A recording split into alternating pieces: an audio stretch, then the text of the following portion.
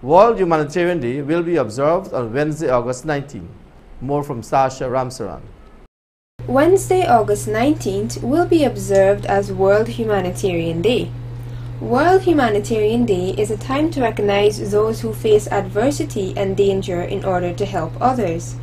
The day was designated by the United Nations UN General Assembly to coincide with the anniversary of the 2003 bombing of the UN headquarters in Iraq.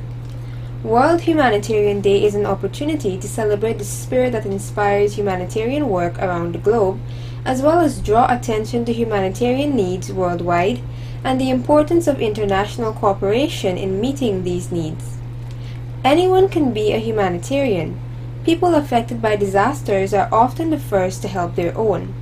The theme for this year's World Humanitarian Day is Inspiring the World's Humanity. This year, the UN and its humanitarian partners invite all of you to inspire the world's humanity.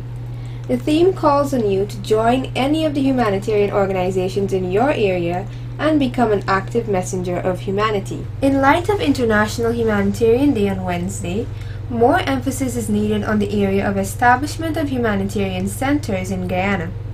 The most recent establishment of such a center is the Humanitarian Mission of New Jersey Arya Samaj's Seva House of Service, which was commissioned on Sunday, August 9th at Ankerville, Port Mourant, Corentyne.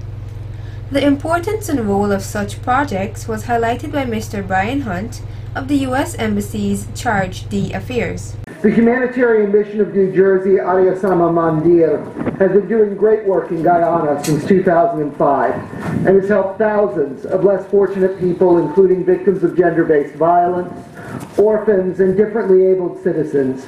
Your organization's decision to establish this center here in Berbice provides people outside the capital city of Georgetown with a warm, friendly place to go for skills development training, counseling, and other social services for the youth and seniors of this great nation. The United States Embassy stands together with you today and in the future as we try to break the cycle of poverty through empowerment and education. Our mutually beneficial goal is to reduce youth crime and violence and link trained young people to employers and economic opportunity. We know that governments cannot solve all problems pervasive in today's societies. It takes a combination of private and corporate charitable giving and non-governmental organizations partnering with governments in order to accomplish this goal. Civil society has a critical role to play in addressing social ills affecting our communities, and that is why we're all here today. We know and hear about the large global organizations and the funding that they provide in the areas of global health, financial services for the poor, and the work that they do to eliminate hunger and poverty. The work of the large organizations is nothing short of extraordinary.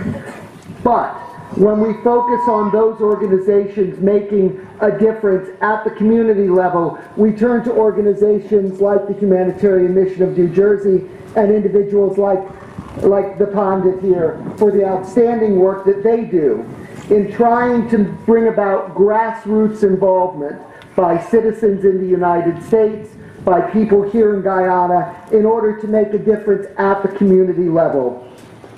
The inherent value of building strong, close-knit communities where citizens work together to build a brighter future should be self-evident to all of us. Humanitarian works in Guyana and worldwide are aimed primarily at improving the lives of the people that it will influence. Sasha Ramsaran reporting for Channel 8 News.